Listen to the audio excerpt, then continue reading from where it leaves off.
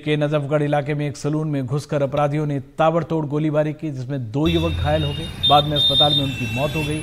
Police के मुताबिक एक कॉल आई थी, जिसमें सलून में घुसकर गोलीबारी करने की खबर मिली थी। मौके पर पहुँची पुलिस को छानबीन में पता चला कि आशीष और सोनू नाम के दो युवक गोलीबारी में बुरी तरह जख्मी हुए हैं, जिनकी बाद में मौत हो गई। पुलिस ने दोनों के शव को पोस्टमार्टम के लिए भेज दिया और एफएसएल की टीम ने भी सलून पहुंचकर वहाँ उसकी जाँच की, पुलिस के मुताबिक ये आपसी रंजिश का मामला बताया जा रहा है। इस हत्याकांड की जाँच की जा रही है। हत्याकांड का खौफनाक सीसीटीवी वीडियो भी आप सबके सामने है।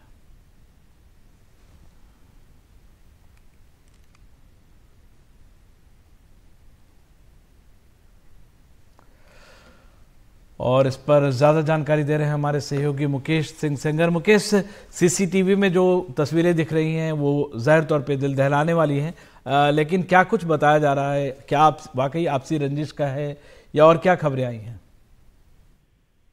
देखिए, अभी तक की जाँच के मुताबिक कल दोपहर में आशीष और सोनू, उसका दोस्त, ये दोनों एक सैलून है नजरगढ़ में, वहाँ पर गए थे और अपने जो है बाल कटवा रहे थे। उसी वक्त दो लड़के अंदर आते हैं और दोनों लड़के जो है बहुत ही पॉइंट ब्लैंक रेंज से फायरिंग करते हैं, जिसमें सोनू और आशीष को छह गोलियाँ लगती हैं, उसके बाद जो सैलून है, वहाँ पर अफरा तफरी मच जाती है और जो सैलून के बाकी कर्मचारी हैं, वो डर के मारे अंदर छिप जाते हैं। इसके बाद पुलिस को कॉल मिलती है, पुलिस मौके पर पहुँचती है।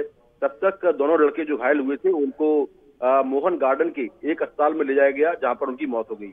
अब तक की जाँच में ये बात सामने आई है कि जो मृतक आशीष है, वो पहले एक हत्या कर चुका है और अभी कुछ दिन पहले जेल से आया था।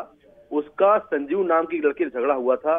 संजीव जो हमलावर है, संजीव उनमें से एक है। झगड़ा हुआ था, झगड़ा किस बात को लेकर हुआ था, अभी साफ़ नहीं है।